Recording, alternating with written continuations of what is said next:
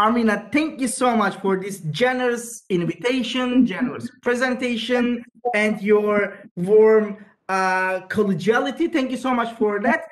I wish it is very pity now we are sharing the virtual forum with you and our, your students, my future colleagues, my friends, uh, virtually. It's pity. I wish I, I had been Graz right now, but this is the that we can have right now.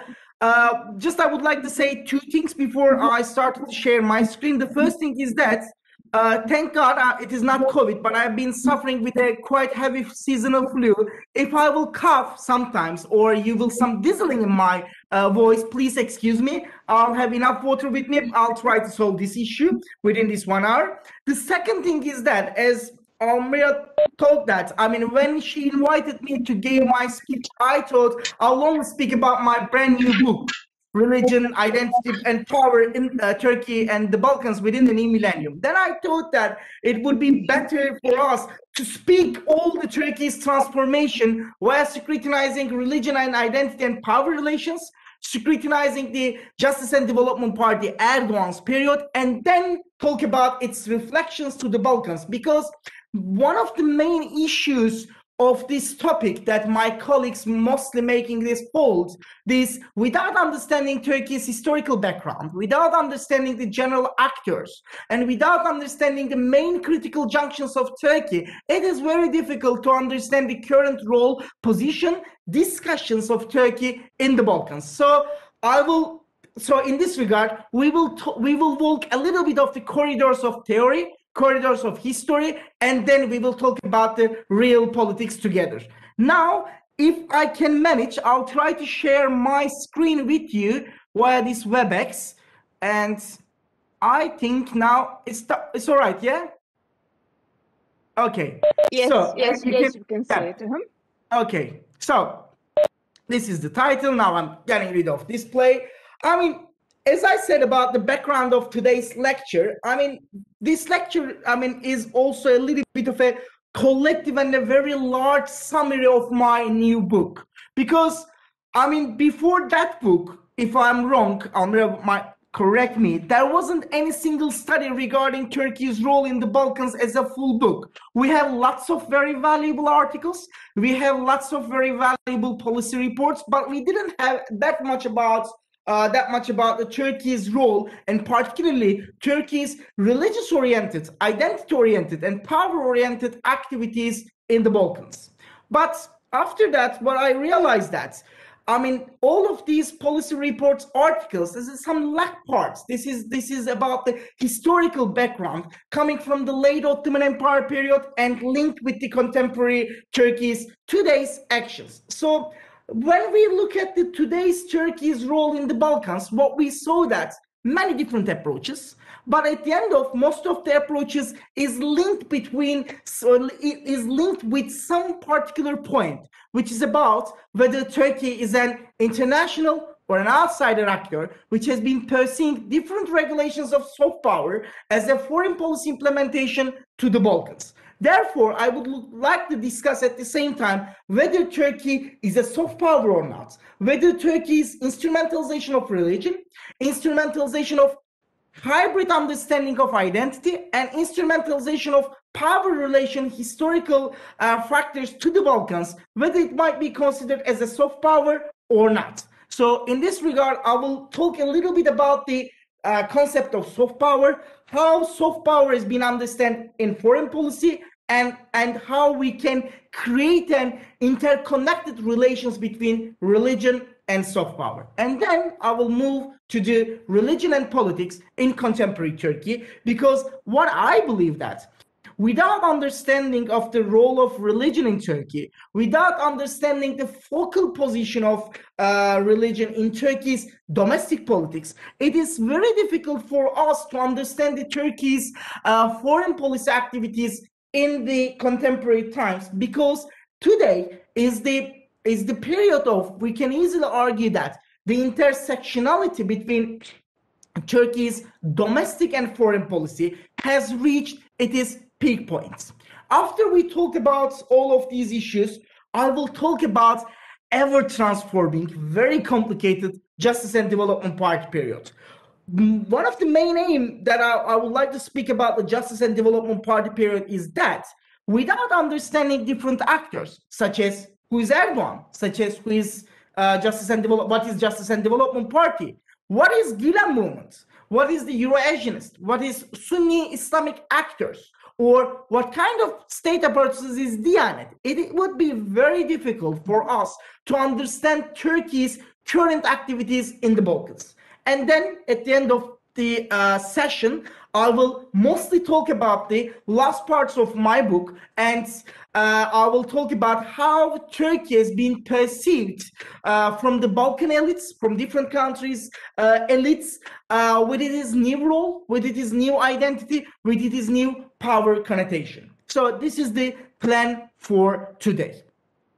As I said, I mean, when I'm told, when I'm, when I'm, uh, when I'm uh, searching some of the literatures, when I'm searching uh, some of the policy papers, or when I talk with the local elites in Turkey and in the Balkans, I'm always hearing two different uh, phrases. The first is that within the Justice and Development Party period, we realize that Turkey is back with a full force, with a high visibility, with a high impact, involving every different kind of issues. Turkey is back to the region. But what kind of back is that? I mean, this is not the first time that we can hear that Turkey back argument. For example, uh, my, our, our coming colleagues, Dimitar Bechev's 2012 article, we, we saw that yes, Turkey is back. But what is the role of being Turkey is back? I mean, within this back Turkey's back motto, Turkey's back plantation, we also saw that Turkey has been using different kind of soft power instrumentalizations while using religious, historical, cultural, and uh, history-oriented tools, and being a very important soft power actor in the region. But I mean, Turkey is back and what we know that Turkey, this is not a big hidden that there is a huge, very visible anti-democratization or uh, democratic backsliding in Turkey's current regime. Turkey's current economic condition has been shrinking dramatically. Turkey is not one of the emerging uh, market anymore.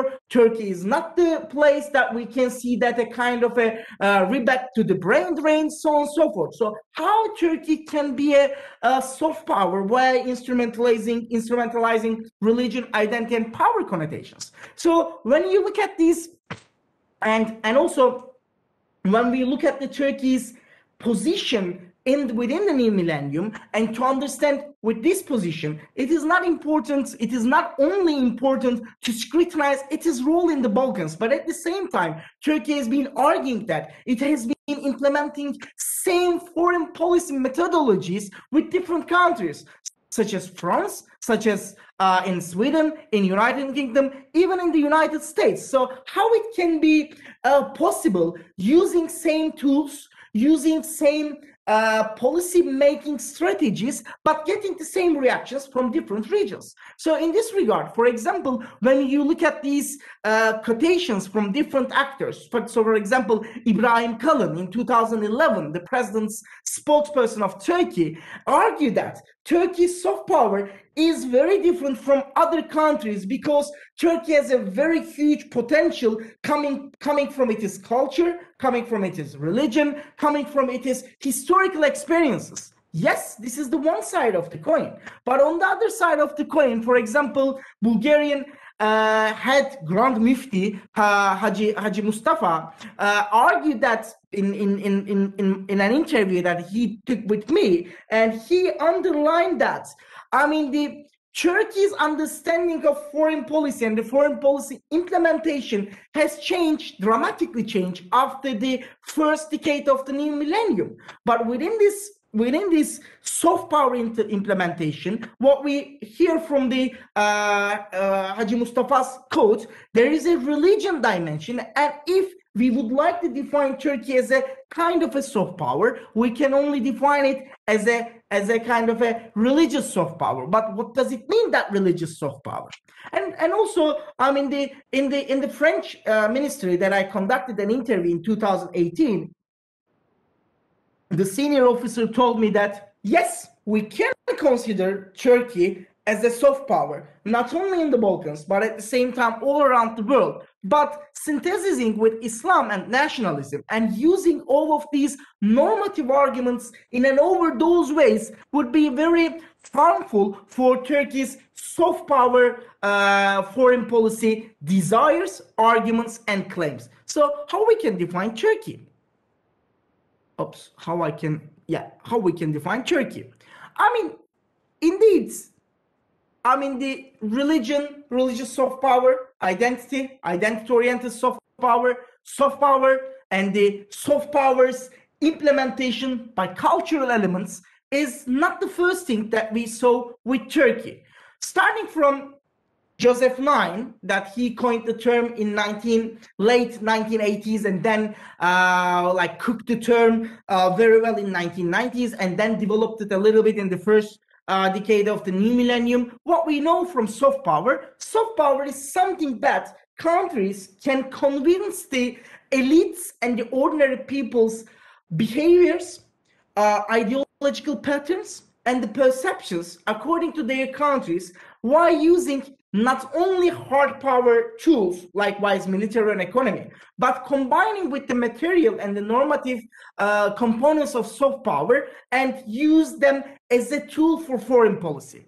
After Joseph Nye, many, likewise Jeffrey Haynes, Thomas Steiner, Steiner Wells, they use soft power with many different actors and with many, many different, uh, many different cases. For example, Pope Francis and his his uh, initiatives for the Paris Climate uh, Agreement or the Organization of Islamic Cooperation, they have been mostly show that religion, identity, power, and culture can be used as an element of soft power, as the Turkish uh, current Turkish administration argued. But at the same time, what we know that religion, culture, identity, power, they are very ambivalent actors. And as uh, as Daniel Philpott and Scott Appleby of Notre Dame universities, as they argued that if you are using some ambivalent concepts to define one country's foreign policy and foreign policy activities under the umbrella of soft power, I mean, this these notions ambivalence one way or another occupy the ambivalence of the soft power structure.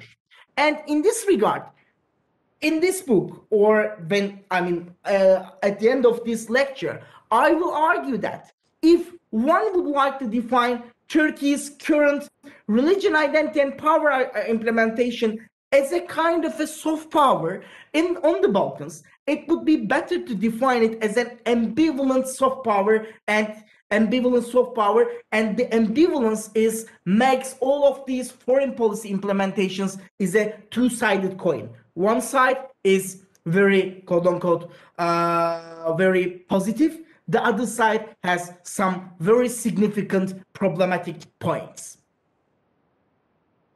And with all of these problematic points what we saw that i mean the if one would like to define define one country's soft power, I mean, we have to scrutinize a couple of issues. The first thing is that we have to scrutinize one country's historical relations with that uh, the, the countries that would like to implement soft power very clearly because when you would like to impose your not hard power, but soft foreign policy implementations, you have to underline your historical background, your common, sh- uh, common shared past, uh, your experiences together. The second thing is that you have to promote yourself, or very ordinary speaking, you have to sell yourself while using your uh, well-functioning democracy. You, you should use your very functioning, rich, and efficient economy and at the same time very functioning, uh, very well designed transnational state apparatus because these are your material material tools that you can implement uh, as, a, as a soft power tool. But at the same time, if there is a problem with the normative side of your soft power and there is a uh, oxymoronic structure between the normative soft power and the material soft power, this soft power still would be defined as an ambivalence, as Peter Mandaville and Shadi Hamidi argued. So within this theoretical background, I think Turkey and the Balkans and the Turkey and the Balkan relations would be a perfect match to define how how how soft power could be an ambivalent actor, ambivalent structure for uh, for this uh, for this for that kind of relation. So in this regard, in the book, after scrutinizing uh, after scrutinizing the relations between the Balkans and Turkey, to, starting from the late Ottoman Empire period, I claim three different things. The first thing is that states can easily adapt of religion in foreign policy and at the same time culture and at the same time their ideology and their efforts to absorb power by playing religion card may be implemented as a soft power but it is mostly based at how do you implement it how you how you force your soft power in different ways and how your domestic political dynamics will present you as a kind of a uh, soft power actor or not. So this is so important to understand one country's domestic political structure to observe it as a pure soft power, pure soft power country or not. So this is the main issue that in here that is why I would like to speak a little bit about, not a little actually, uh, quite a lot about uh, Turkey's domestic political transformations. So, what we know about Turkey, Turkey was a secular or what we call a laïc country, but one day Erdogan has reached the power and abolished that laïc and Islamizing country. No, actually, this is not a true story. I mean, what we know that as the as the presenter of the of the Ottoman Empire, Turkey, yes, was founded in 1923, but not as a secular or a laïc country that we called in Turkish. Turkey actually wasn't a laïc country uh, until 1937. But Turkey established one state institution right after six months after the, the, uh, the, the establishment of the republic, which is called Diyanet, Presidency, Presidency of religious affairs. Diyanet is a state institution. Is uh, it is main duty is to control, regulate, and run all the Sunni Islamic activities within the Turkish state on behalf of the Turkish society, but getting orders from the Turkish state. This means that we shouldn't, we couldn't talk about a crystal clear religion and state cut within the case of Turkey. I mean, uh, in 2009 dated 2009 dated book Ahmet Kuru defined the types of secularisms into three pieces in the in the world: uh, Anglo-Saxon type of secularism, French type of laicite, and Turkish type of laicity.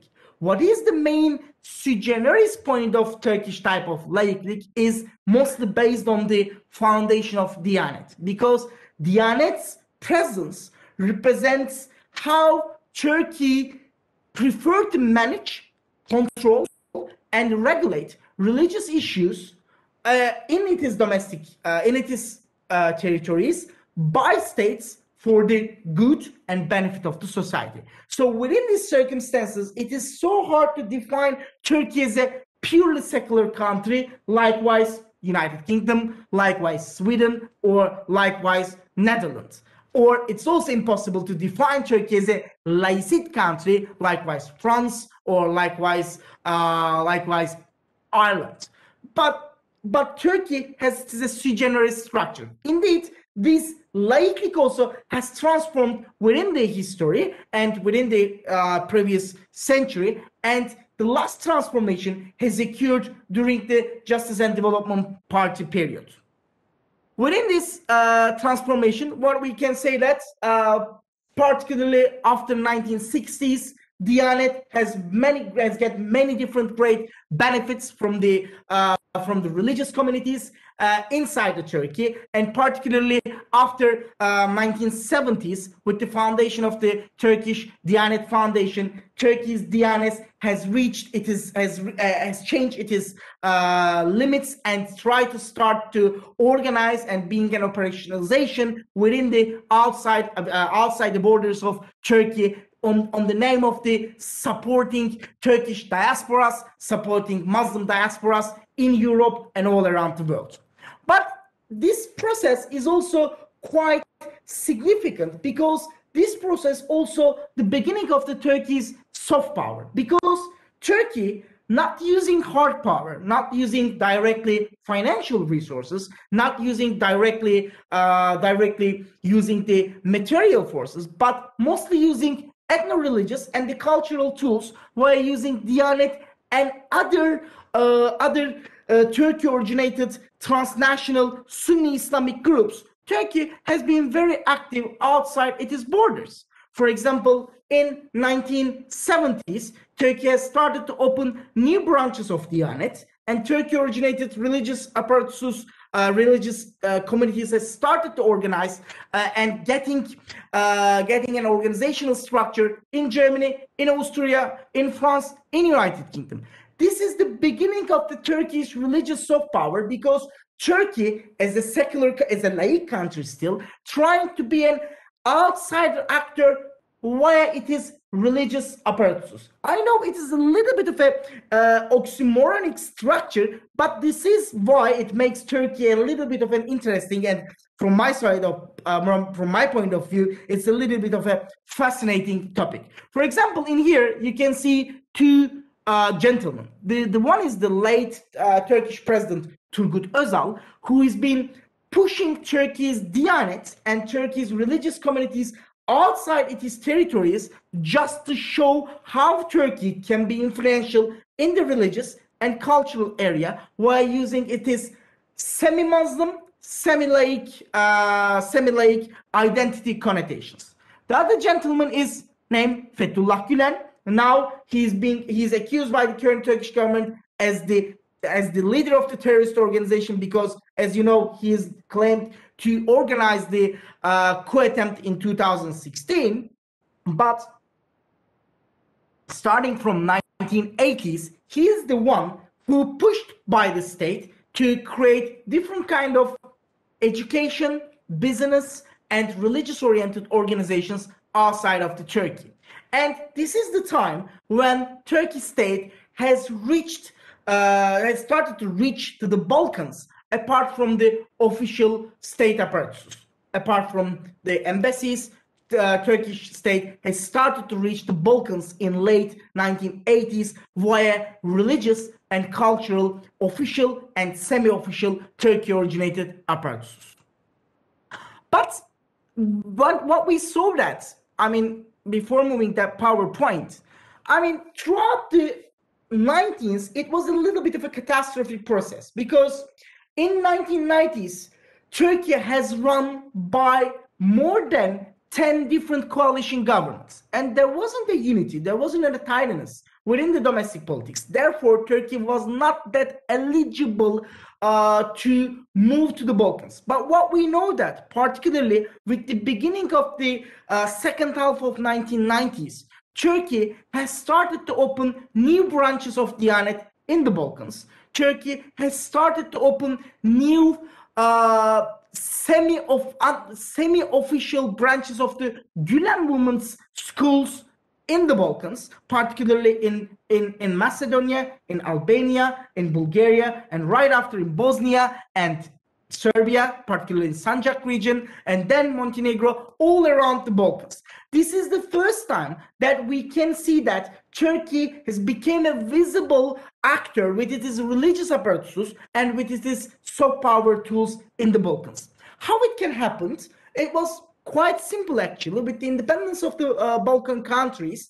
I mean, they mostly based on the Turkey's initiatives, but at the same time with the invitation of the local actors Turkey went to the region to serve the uh, Balkan Muslims because I mean when I was conducting an interview in the region, what I realized that most of the uh, representatives and most of the state officers underline that if they didn't invite Turkey, if they didn't let Turkey to run some of the religious, cultural, and identity-based activities in the Balkans, the area was very gap and very Aristotelian understanding nature hates gap. And this gap might be filled by the other non-orthodox, uh, other non uh, moderate Islamic actors, likewise Wahhabis, likewise Salafis or Iran.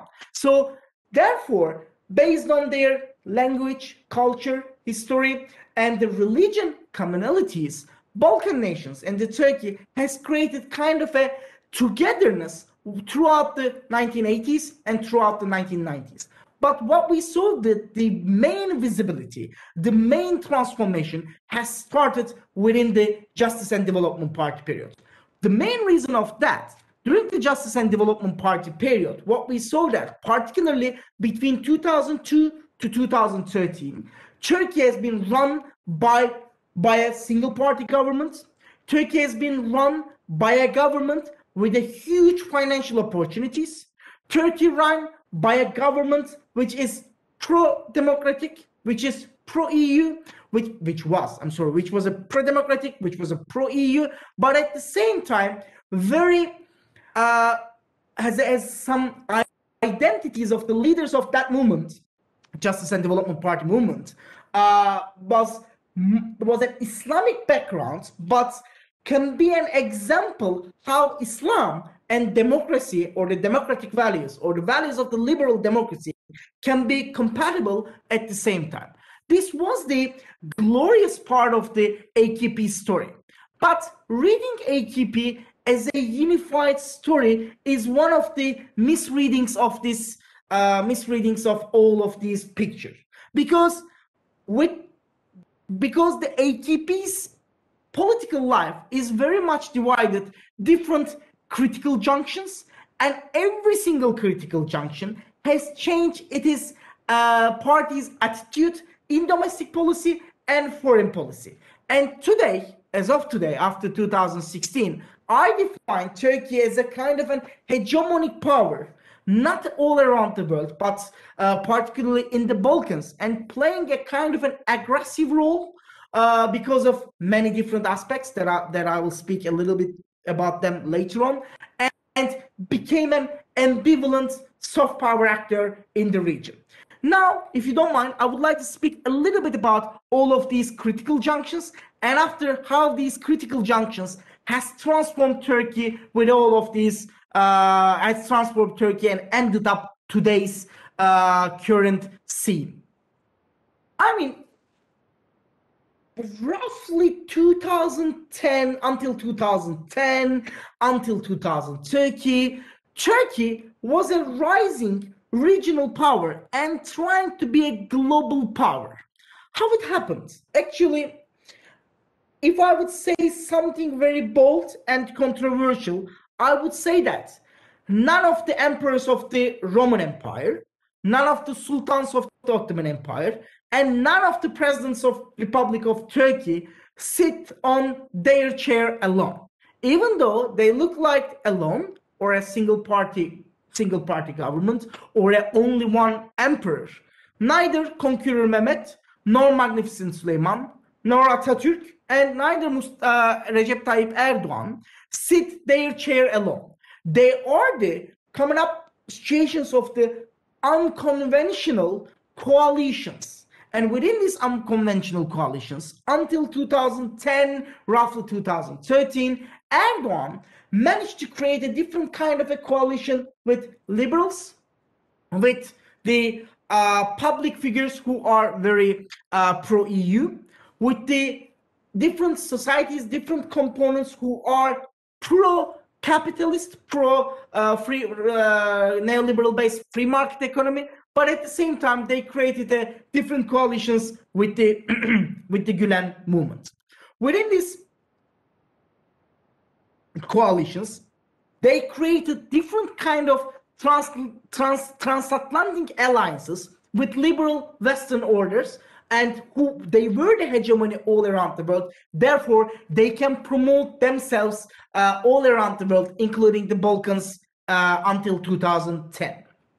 And at the same time, after particularly 9-11 and with the London bombings and then the terrorist attacks in France uh, with the first decade of the uh, new millennium, AKP and Erdogan was the only, and the Gulen movement was the only figures that showed us how Islam can be compatible with the uh, moderate Western values. Therefore, all of the Western powers promoted their uh, their their they promoted Justice and Development Party one way or another, and this gives them a kind of a legitimacy all around the world, including the Balkans. At the same time, they used many different uh, big mottos all around the world. For example, zero problems with neighbors, or uh, previous prime minister and the foreign secretary Professor Ahmet Davutoğlu's very famous concept zero power, uh, zero, zero problem, and strategic depth. What does it mean that strategic depth? Turkey has a strategical power. Turkey has a strategical importance that can easily solve every kind of problems almost all around the world, but particularly in its regions and within these regions that we saw the Balkans inside in it, because Turkey can be play a uh, older sibling, elderly sibling role with all of these problems. Well, within these circumstances, Turkey was a rising regional power, and they used that rising regional powers, uh, rising regional powers qualifications all around the world, but particularly in the Balkans, because in terms of the country hierarchies, it would be very easy to, to, for, for Turkey to implement new policy transformations to the Balkans. But this story is not uh, going went very well particularly after 2013, uh, starting from the, from the uh, Arab uprisings, and after after the Arab uprisings, uh, starting with the Turkey's economic crisis and the Erdogan's authoritarianism, we saw many different transformations within the Turkey's inside the domestic politics and foreign policies. The first thing is that Turkey was in crisis. I mean, the this crisis is quite quite quite quite deep because Turkey has found itself is a trans, transatlantic alliances crisis. Because Turkey's authoritarian drift, Turkey's involvement to the Syrian conflict, Turkey's involvement to the northern Iraqi conflict, Turkey's economic and the political crisis in domestic politics created different kind of issues, different kind of problems, uh, different kind of problems with Turkey's Western allies. And within these Western allies, when Turkey found some kind of different problems with Western countries, Turkey tried to change its state to the Euro-Asian kind of alliances with China and with Russia. This has the beginning of the Turkey's identity transformation, and this transformation has definitely affected not only Turkey's domestic political issues, but also Turkey's foreign policy activities at the same time. The other thing is that Turkey's transformation within the foreign policy is also affected Turkey's inside coalition dynamics. Erdogan and Gülen movement uh, created a desire-based and very harsh fatal conflict uh, regarding who will be the main controller of the bit, that big ship, namely, uh, namely uh, Turkey. And this conflict has been very dramatic. This conflict was very intense, and this conflict has also some religion sides as well. Within this conflict, two Sunni Islamic groups, Justice and Development Party and the Gülen Movement, started to conflict all around the world, including the Balkans and including inside of the Turkey.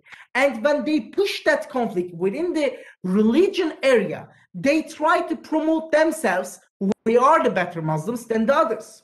So this also created another transformation and Islamic radicalization in Turkey's uh, domestic politics and foreign policy attitudes.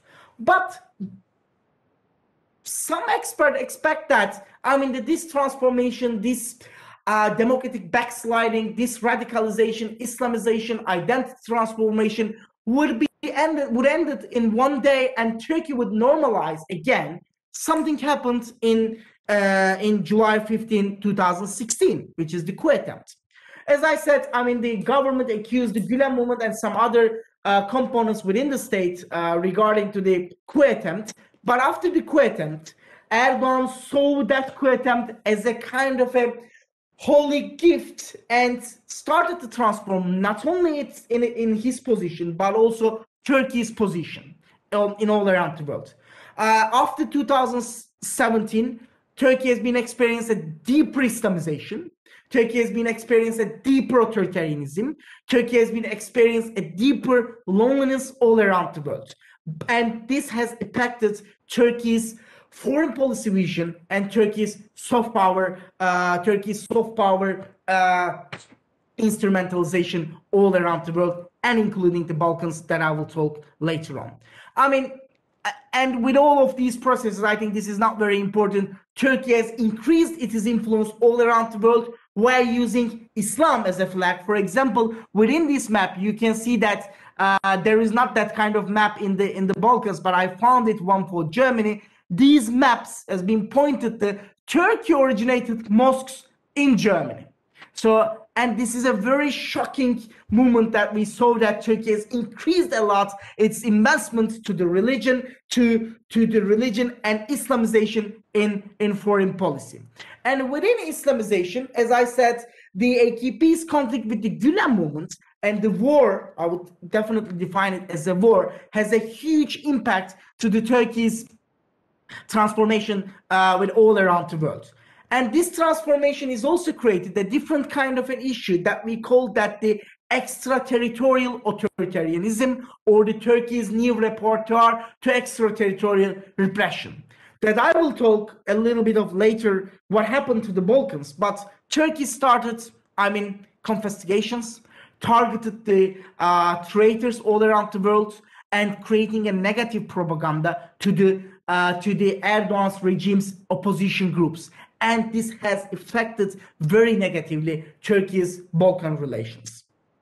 And the last point is that Turkey has involved a, a kind of a global revival, uh, global revival regarding who will be the uh, leader of the global ummah. This rivalry is between uh, Saudi Arabia, between United Arab Emirates, between uh, Morocco and Turkey and Iran within this competition regarding who will be the leader of the global ummah, who will be the patron of the global ummah, Turkey found itself much more deeper Islamic roots in the foreign policy, and this will also affect the uh, positive relations with the Balkans. So after I understood, I understand that much about uh, that much about Turkey's background. If we come back to the Balkans, what I can say that I mean, my new study is based on a field work, uh, more than four years, mostly covering Bulgaria, North Macedonia, and Albania. But beyond that, it has been covering Serbia, Bosnia, and also Kosovo, and argued that, I mean, as an instinct part of an identity, religion, power, and their relations have the capacity to shape the politics and power relations as well as state identities. And what I argued that Turkey's all of these domestic political transformation has reflected very negatively, very problematically to its Balkan presence, Balkan relations. And with all of these, can you hear me by the way? I can hear my voice right now. I can hear you very well. Okay, I now, now it's gone. Okay, I, I started to hear my voice as well, and and the Turkey's and the Turkey's Balkan relations, and with this transformation is not state limited within the domestic politics and transform to the Turkey's uh, foreign relations with the Balkans with many different ways.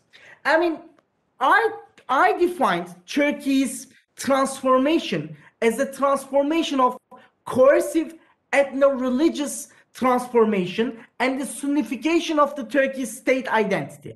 But I mean, for example, if I define Turkey as a coercive, ethno-nationalist, Sunnified country, and if I would like to conduct some interviews and understand the uh, Libyan, Libyan or the Syrian or the North African or Somalian state elites' reactions to them, most probably I will get many positive feedbacks regarding that issues.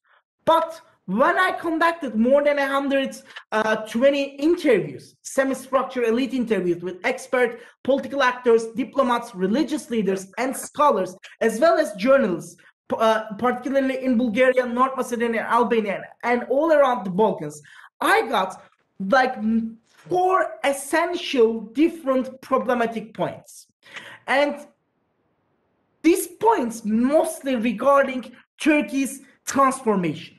I mean, what I can argue that Turkey, like many countries all around the world, is gradually withdrawing from an international cooperation and is restoring a new distinction, as I said in the PowerPoint, between Western understanding of civilization by synthesizing very subjective understanding of nationalism, nostalgic region of history, memory, and very banal understanding of religion. This transformation has been creating under the leadership of Erdogan, but this has been creating many different issues in many different countries, and it has it has been presented itself in different ways in the Balkans as four main issues. The first problem is that service to the global ummah. I mean, what I'm trying to say regarding to the service to the global ummah when we look at the data of the Turkey's investments and Turkey's uh, visibility in the Balkans during the Justice and Development Party period, but particularly after 2010, we can see 45% increasement in terms of investments, in terms of service, in terms of humanitarian aid uh, to the Balkans. This is a significant number when we compare to the 13% of increase in North Africa, 20% increase in the uh, uh, Asian Turkey countries, and 7% increase to the Western European countries. This means that the Balkans has been still a very important position for the current Turkish regime.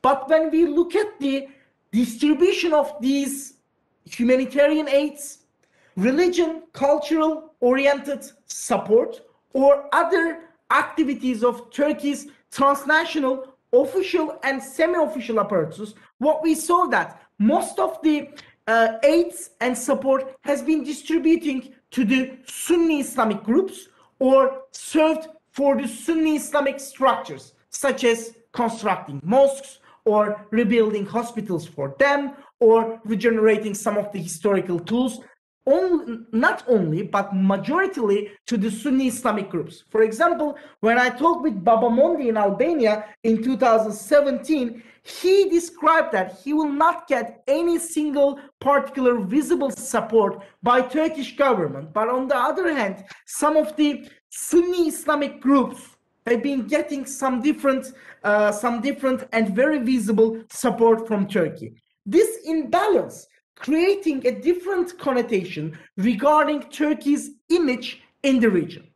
This is the first problematic point. Previously, secular, laïc Turkey tried to distribute its economical power or economical investment capacity almost equally to the Balkans. But this new Turkey, new Turkey's preferences will go directly to the and majoritarily to the Sunni Islamic groups. This is the first problematic point. The second problematic point is that is regarding to the exportation of domestic conflicts.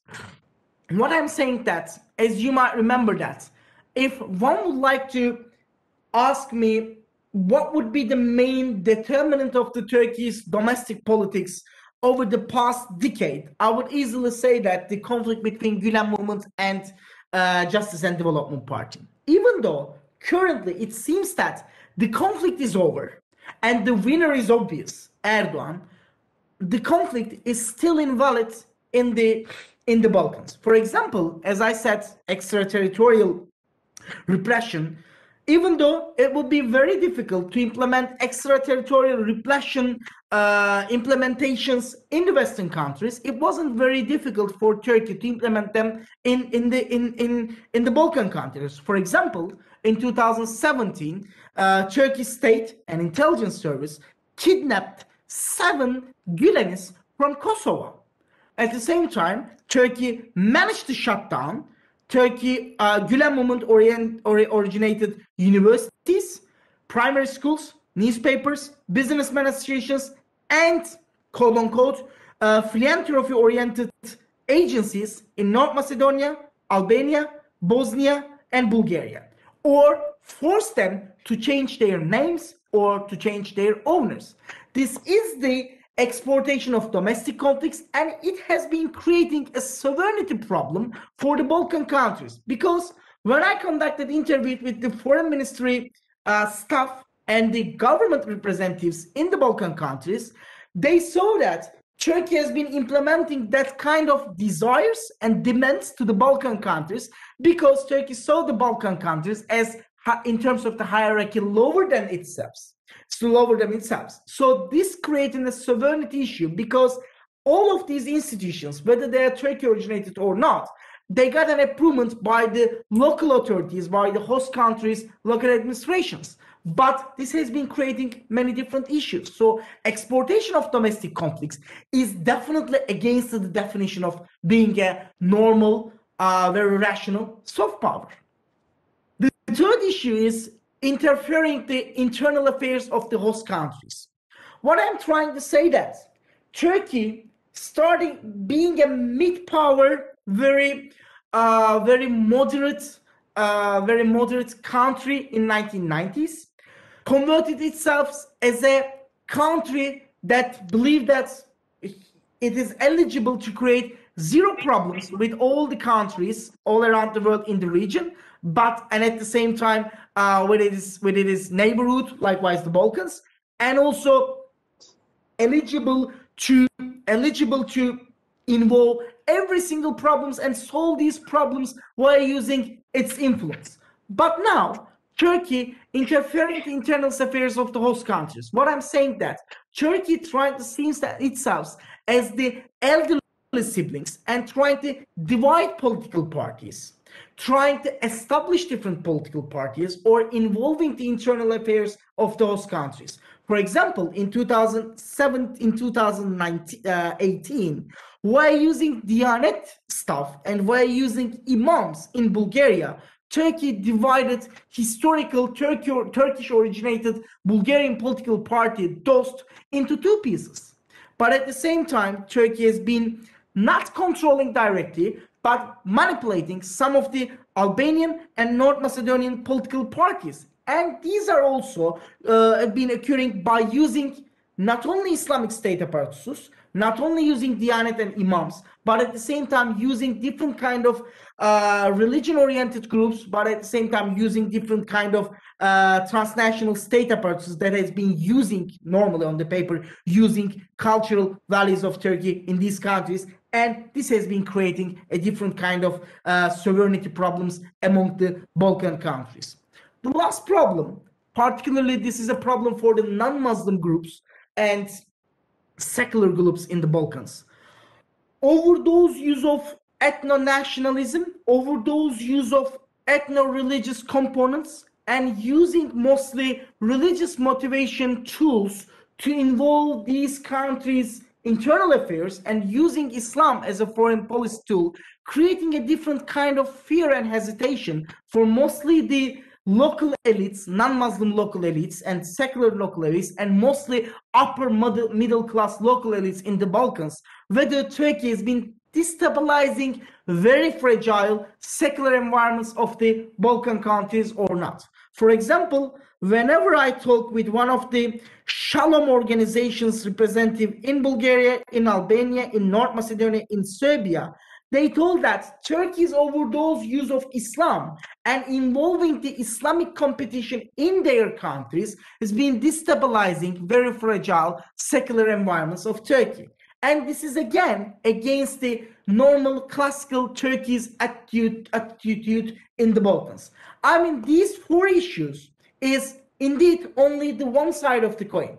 On the other side of the coin, as you can see from the photos, Turkey and particularly Erdogan has a big presence in the in the region, has a big value, has a big impact factor, and has a big uh, importance in the region. But still, the transformation of Turkey, Turkey's domestic political critical junctions, and these outputs has been creating an ambivalent structure. And this ambivalence is mostly coming from Turkey's overdose use of religion and ethnic components and using and showing itself as a as a big player, as a big power for the region, and using its authoritarian and aggressive tendencies with its reactive foreign policy attitudes. And this has been creating a different kind of problems uh, for the Balkans. At the end of the day, what I can argue that Turkey's transformation is not only transformed Turkey's policy behaviors, but also Turkey's perception to the Balkans.